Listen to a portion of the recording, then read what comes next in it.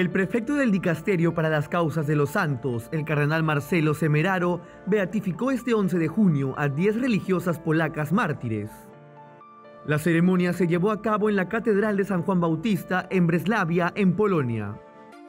Durante su homilía, el cardenal Semeraro, como enviado papal, reconoció el martirio de estas mujeres en odio a la fe ocurrido en 1945 durante una invasión del ejército soviético, quienes murieron por defender su castidad.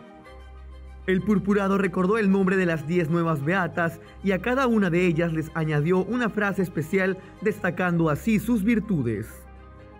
Luego el cardenal destacó que el testimonio de las nuevas beatas es una palabra de amor, un signo de caridad, de entrega total al esposo celestial y recordó la frase que afirmó una de ellas antes de morir.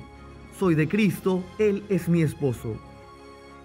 Además del martirio, el enviado papal señaló que toda la vida de estas mujeres fue un verdadero don de sí mismas al servicio de los enfermos, los pequeños, los pobres, los frágiles, y añadió su caridad desinteresada y heroica que las impulsó a permanecer en Breslavia ante el riesgo de la invasión soviética.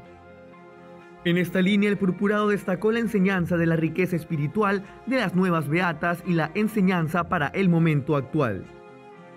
Su martirio nos hace pensar en las circunstancias que vivimos hoy, en la Europa del siglo XXI.